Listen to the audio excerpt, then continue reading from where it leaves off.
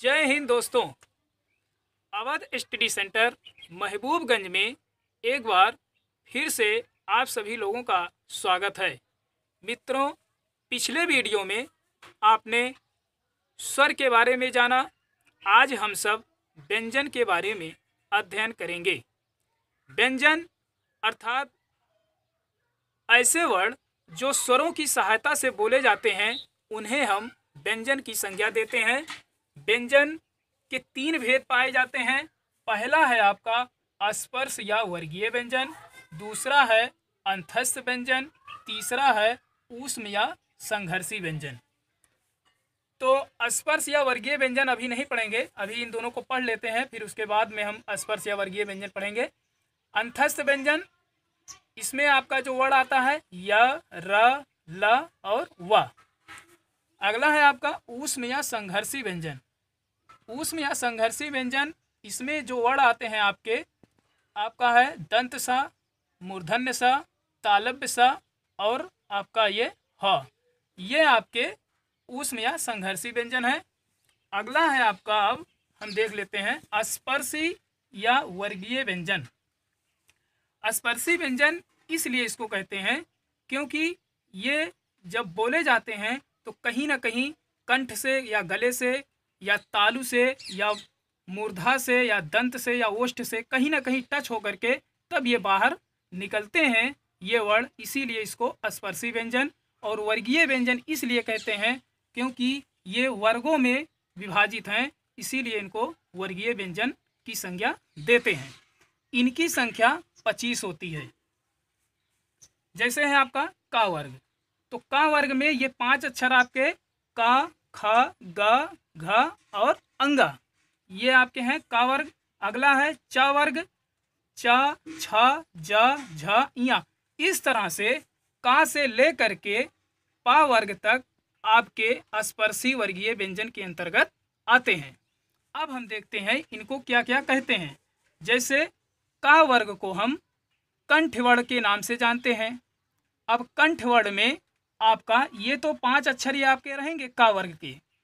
Plus छोटा आ, बड़ा आ और आहा, जिसको हम विसर्ग के नाम से जानते हैं, और हा, ये कंठवर्ण के अंतर्गत आते हैं।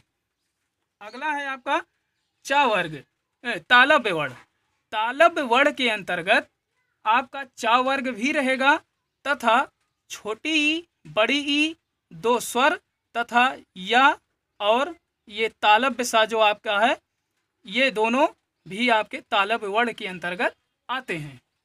अगला है मूर्धन्य वर्ण। मूर्धन्य वर्ण जो है, ये टा वर्ग का पाँच पाँच अक्षर भी रहेंगे, प्लस री और ये मूर्धन्य सा, जिसको हम खट्टी सा के नाम से जानते हैं, ये आपका मूर्धन्य वर्ण के अंतर्गत आता है। अगला है दंत वर्ण।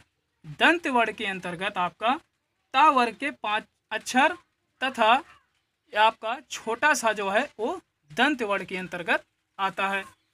तीसरा है आपका ओष्ठ वर्ण ओष्ठ वर्ण आपके पा वर्ग के सारे पाँचवें अक्षर तथा छोटा ऊ और बड़ा ऊ, ये दोनों स्वर भी ओष्ठ वर्ण के अंतर्गत आते हैं। अब हम देखते हैं नासिक वर्ण या इसी को अनुनासिक वर्ण कहते हैं। अनुनासिक वर्ण अर्थात मुँह, ज़ुबान से और नाक से, दोनों से बोले जाते हैं और यह हर वर्ग का पांचवा वर्ण होता है, जैसे अंगा इया आड़ा, न और माँ।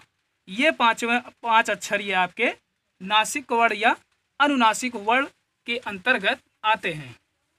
अगला है आपका द्विगुण या उपक्षिप्त व्यंजन। ये आपके ढ और अड़ा है। अगला है अयोगवाह या किन्नर वर्ण।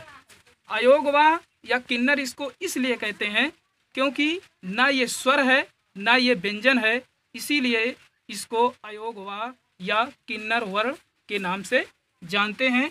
अंगा को अनुसार कहते हैं तथा आहा को विसर्ग के नाम से जानते हैं।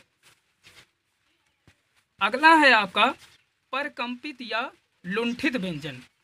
परकंपित या लुंठित व्यंजन अर्थात थर्राते हुए जब अंदर से कोई वर्ण बाहर निकलता है तो उसे हम परकम्पित परकंपित या लुंठित व्यंजन कहते हैं और इसमें आपका एक है रा, जो ठर्राते हुए निकलता है।